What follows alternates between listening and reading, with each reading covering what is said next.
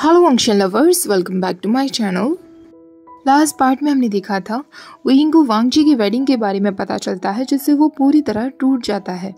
New year celebrations के last day वाले दिन, जब वो अपने इन वापस लौटता है, वो बहुत बुरी तरह ड्रंक था। तभी ओनर की डॉटर आकर कहती है यंग मास्टर आपसे मिलने के लिए कोई आया है? वुइंग से मिलने के लिए हुसंग वहाँ आया हुआ था। हुसंग वुइंग को देखते ही कहता है मैं आपसे बहुत ज़्यादा नाराज़ हूँ। आप यहाँ मेरी सिटी में इतने समय से हैं। पूरे विंटर आपने यहाँ बिताए, पर आप मुझे विज़िट करने के लिए बिल्कुल नहीं आए। क्या अपने ओल्ड फ्रेंड को इसी तरह ट्रीट किया जाता है? विंग मुस्कुराते हुए कहता है, पर सैक लीडर ने, खुद मुझे मेरे क्वार्टर्स पर विज़िट करने के लिए आए हैं। इससे ज़्यादा खुशी तो मुझे कभी नहीं हो सकती थी। हैसांगा विंग को अपने पास बैठने के लिए कहता है और उससे कहता है, वे ब्रदर, पर आप सच में बहुत ज़्यादा क्रूल हैं। आपने हिज एक्सीलेंसी को ऐसे ही छोड़ दिया स्पेशली तब जब वो वेडिंग की तैयारी में लगे हुए हैं। आई एम श्योर इस वक्त उन्हें आपकी बहुत ज़रूरत होती। विंग एक वीक लाफ हँसते हुए कहता है नी ब्रदर तुम तो मुझे जानते हो ना, मेरी रहने का कोई ठिकाना नहीं है, और लंजा मैनेज करने में बहुत अच्छा है, मुझे पता है वो सब कुछ मैनेज कर लेगा। ख्वाजांग कहता है ऑफ़ कोर्स वो तो हैं ही तभी तो जिससे उनकी शादी होने वाली है, वो एक पावरफुल कल्टीवेटर है। दोनों एक दूसरे को परफेक्टली सूट होते होंगे। विंग फिर से एक वीक स्माइल देते हुए कहता है ऑफ़ कोर्स तभी चिंगे सेक्ट का एक मेंबर आकर हुसैंग से कहता है सैक नीडरनी मास्टर वे शायद हम लोगों को अनक्लीन रल्म वापस जाना होगा। हमें खबर मिली है कि सैक लीडर याओ आपसे मिलने के लिए आना चाहते हैं। ख्वासांग वहिंग से भी अपने साथ चलने के लिए कहता है, पर वहिंग मना कर देता है। ख्वासांग वहाँ से चला जाता है। कुछ दिनों के बाद वो यिंग चिंगे भी छोड़कर चला जाता है। जाने से पहले वो ख्वासांग को विज़िट करने के लिए नहीं जाता, क्योंकि वो वांग जी के बारे में किसी से भी बातें नहीं करना चाहता था। वो फिर से टाउन टू टाउन अपना ट्रैवल शुरू कर देता है और नाइट हंटिंग शुरू करता है, क्योंकि वो खुद को एक मौका देना चाहता था हील होने का। वो एक टाउन में रात बिताने के लिए रुकता ही है, तभी वो कल्टीवेटर्स के एक ग्रुप को देखता है जो आपस में बातें कर रहे थे। एक आदमी कह रहा था, वो खुद को समझता क्या है? उसे चीफ कल्टीवेटर बनाया गया था, क्योंकि सबको लगा था कि वो मोह माया से कभी भी डिस्ट्रैक्ट नहीं होगा। और अब वो खुद शादी कर रहा है। सारे सैक लीडर्स को उसमें जाना पड़ेगा, क्योंकि वो एक चीफ कल्टीवेटर है। और अभी तक उसने डेट तक नहीं बताई है। वो सच में बहुत घमंडी चीफ कल्टीवेटर है। तभी एक दूसरा आदमी कहता है हाँ और उसकी डिमांड्स भी बढ़ती जा रही हैं। वो अब चाहते हैं कि हम बैक वाटर विलेजेस पर जाकर प्रोटेक्शन दें और उन्हें कुछ घोस्ट और फियर्स कॉर्पसेस से बचा कर रखें। और वो आराम से क्लाउड असेस में मैरिज के बाद अपनी लग्जरी लाइफ जीना चाहते हैं। बस बहुत हो चुका था विंग ने अब बहुत सुन लिया था। वो अपनी सीट से खड़ा होता है और उन सबसे कहता है सॉरी यंग मास्टर्स पर शायद मुझे लगता है कि आप हिज एक्सीलेंसी की बातें कर रहे हैं। तो ज़रा मुझे खुद को एक छोटी सी एडवाइस देने दो। हांगुनजुन का नाम इतना छोटा नहीं कि तुम्हारे जैसे डर्टी कल्टीवेटर्स अपने मुँह से उनका नाम ले। अगर आगे से कभी भी मैंने तुम में से किसी को भी मेरे प्रेजेंस में उन्हें डिसरेस्पेक्ट करते हुए सुना तो मैं वहीं की वहीं तुम सबकी जीप काट दूँगा। और तुम जानते ही होंगे कि मैं ऐसा कर सकता हूँ। ये सुनने के बाद उन सब के फेस हॉरिफाइड देखने लगते हैं। उनमें से कोई भी एक शब्द नहीं कहता। विंग अपनी फ्लूट हाथ में लिए वहाँ से चला जाता है। स्प्रिंग का सीज़न आते आते फाइनली विंग डिसीज़न लेता है गूसू की डायरेक्शन में जाने की। इन दिनों उसने खुद को समझा लिया था कि अगर वो लंचा का और कुछ नहीं बन सकता तो कम से कम उसका दोस्त तो हमेशा बनकर रह ही सकता है ना? फाइनली विंग गूसू पहुँच जाता है। वो उसी फैमिलियर पाथ से होकर गुजरता है, जहाँ उसने और लंचा ने एक साल पहले गुड बाय कहा था। वो उसी पहाड़ी पर जाकर खड़ा होता है, जहाँ से उसने लंजा के लिए आखिरी बार फ्लूट प्ले की थी। वो अपनी फ्लूट निकालता है और फिर से उसे प्ले करने लगता है। फ्लूट की वो मेलोडियस वॉइस पूरी हवा में घुल गई थी। विंग अपनी आँखें बंद कर लेता है। वो वांगजी को इमेजिन करने लगता है, तभी उसे पीछे से आवाज़ सुनाई देती है, विंग।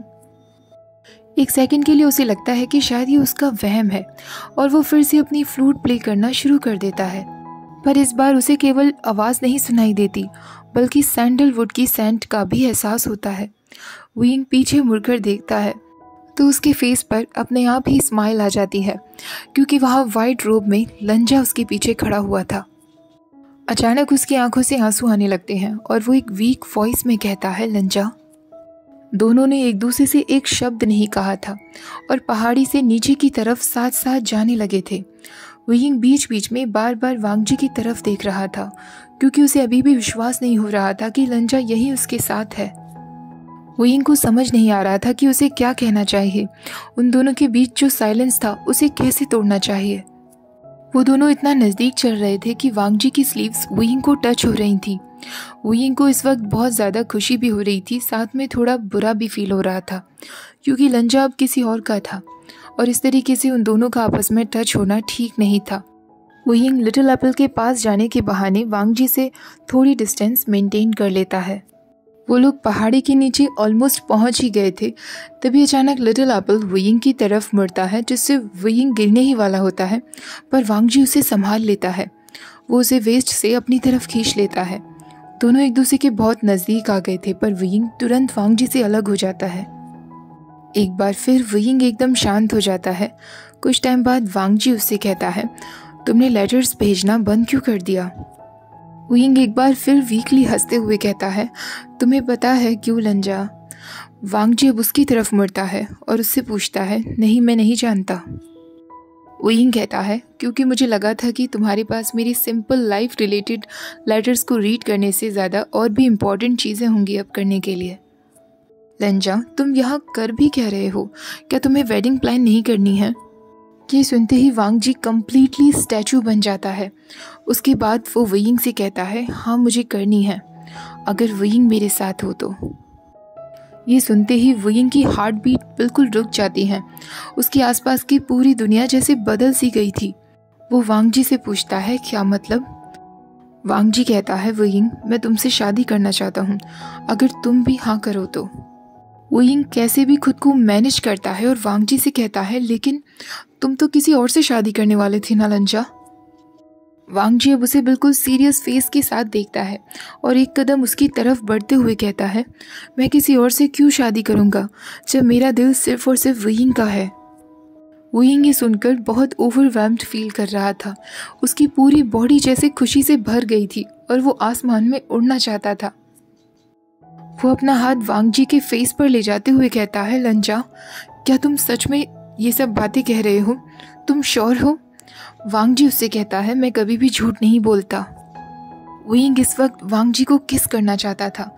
वो फील करना चाहता था कि क्या लंचा का माउथ उतना ही सॉफ्ट फील होता है जितना उसने इमेजिन किया था। विंग उससे कहता है हाँ लंचा झूठ बोलना मना है। तो अब मुझे भी तुम्हें कुछ बातें बतानी है, जो मैंने तब रियलाइज़ की जब मैं तुमसे दूर था। लंचा जब मुझे पता चला कि तुम इस समर की एंड तक शादी करने वाले हो, उसके तुरंत बाद मुझे रियलाइज़ हुआ कि मैं तुमसे कितना ज़्यादा प्यार करता हूँ। मैं तुम्हारे पास भाग कर आना चाहता था और कभी भी तुम्हें ये शादी नहीं करने देना चाहता था। पर मैं क्या करता? तुमने मुझे कभी कोई हिंट ही नहीं दी लंजा मुझे कैसे पता चलता कि तुम भी मुझसे प्यार करते हो?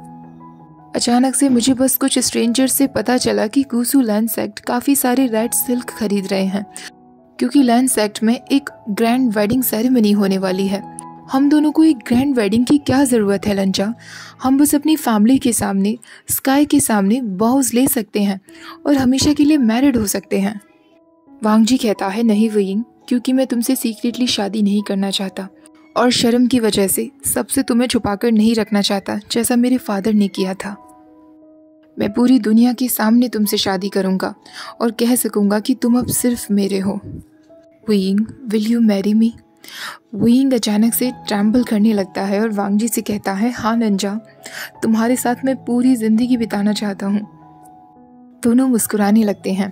उसके बाद वो दोनों पास ही के एक गेस्ट हाउस में रहने के लिए आ जाते हैं। वहींग वांगजी से पूछता है, वैसे तुम्हें वो रेड सिल्क खरीदने की इतनी जल्दबाजी क्या थी, लंचा? और मैंने सुना कि तुम फॉर्चून टेलर के पास भी गए थे। तुम्हें पता भी नहीं था कि मैं हाँ कहने वाला हूँ या नहीं। फिर तुमने ये सब क्यों किया? जी उससे कहता है, क्योंकि मैं हर तरीके से प्रिपेयर्ड रहना चाहता था। इन केस अगर तुम अग्री कर देते, मैं नहीं चाहता था कि हम शादी में बिल्कुल भी डिले करें। वो ये घसते हुए कहता है, लंजा, तुम सच में इम्पॉसिबल हो। अगर मैं ना कह देता तो तुम इतने सारे रेड सिल्क का क्या करते? वांगजी कहता है, वो रेड सिल्क वेस्ट नहीं जाता। अगर तुमने अपने लेटर में आयुन और जिनलिंग को लेकर जो भी बातें कही थी, वो सच हैं तो। वहीं हँसते हुए कहता है, पर वो दोनों अभी बहुत यंग है, लंजा। और क्या आयुन भी जिनलिंग को वैसे ही पसंद करता है जैसे जिनलिंग करने लगा है? वो दोनों अभी लव और मैरिज के बारे में जानते ही कितना है। क्या तुम्हें याद है लंजा, हम दोनों कैसे थे जब हम उनकी एज के थे? हम कितना लड़ते थे। उस वक्त हमारे बीच में प्यार कब था? वांग जी कहता है, नहीं, ऐसा बिल्कुल नहीं है। विंग कम्प्लीटली शॉक्ड हो जाता है और कंफ्यूज होते हुए पूछता है, लंजा, तुम्हारे कहने का मतलब है कि तुम तब से मुझसे प्यार करते हो? वांग जी कहता है हाँ विंग विंग कहता है, और वो सोलह साल लंजा, जब मैं मर चुका था वांग जी कहता है, उन सोलह सालों में भी एक दिन भी ऐसा नहीं गया विंग जब मैंने तुम्हें याद न किया हो। विंग मन में सोचने लगता है, मैं कितना बड़ा फूल था। मैंने लंजा के बिना कितना टाइम वेस्ट कर दिया। विंग वांग जी के चेस्ट पर हाथ रखते हुए कहता है लंजा आज मैं तुमसे एक प्रॉमिस करना चाहता हूँ।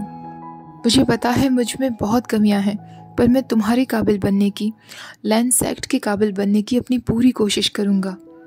वांग जी उससे कहता है, तुम ऑलरेडी काबिल हो विंग गेस्ट हाउस पहुँचने के बाद वांग जी ओनर से कहता है, आज रात हम यहीं रुकेंगे. ओनर वांग जी और विंग को साथ देखकर कहता है, और आपको कितने रूम्स की ज़रूरत होगी, हंगुंजुन? पांग जी कहता है, सिर्फ़ एक रूम आप हमारे रूम में डिनर और एम्प्रेस इस्माइल का जार भी भिजवा दीजिएगा. वांग जी और वइंग दोनों अपने रूम में आ जाते हैं और टाइम पर उनका डिनर भी रूम में आ जाता है। वो दोनों बिल्कुल साइलेंस में अपना खाना खाने लगते हैं। वइंग को काफ़ी सारी बात तो वांग जी से करनी थी, पर खाना खाते वक्त वो बात नहीं कर सकता था।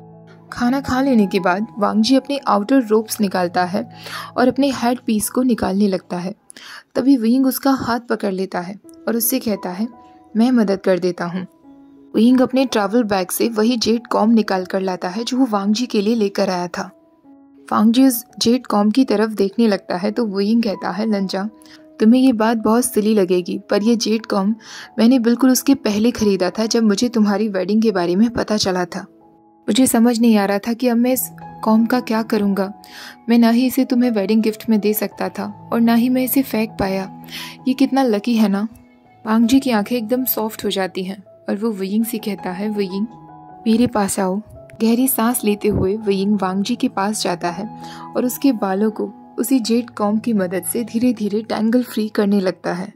वांग जी के हेयर बिल्कुल सिल्क और सॉफ्ट थे। विंग अब जेंटली वांगजी के हेड पीस को भी निकालकर बेड पर रख देता है। तभी वांगजी उससे कहता है विंग तुम कुछ भूल रहे हो। ऐसा कहकर वांगजी विंग के हाथ धीरे धीरे अपने फोरहेड रिबन पर लेकर आता है। विंग का हाथ उस फोरहेड रिबन के चारों ओर शिवर कर रहा था। लंजा सिर्फ़ और सिर्फ़ उससे प्यार करता है। ये बात विंग को खुशी से पागल कर रही थी। विंग धीरे धीरे उसका फोरहेड रिबन निकालता है और वांगजी के हाथ में रख देता है। वांगजी उस रिबन को उठाकर वहींग के हाथ पर एक सॉफ्ट किस कर लेता है। उस टच से वहींग को ऐसा फील हो रहा था कि उसकी पूरी बॉडी में आग लग चुकी हो। ओके okay गाइज़ आज का पार्ट मैं यही ख़त्म करती हूँ। आई होप आज का ये स्वीट और रोमांटिक सा पार्ट भी आप लोगों को अच्छा लगा होगा। वीडियो अच्छी लगी हो तो प्लीज़ वीडियो को लाइक शेयर चैनल को सब्सक्राइब करना मत भूलिएगा। Thank you for watching bye bye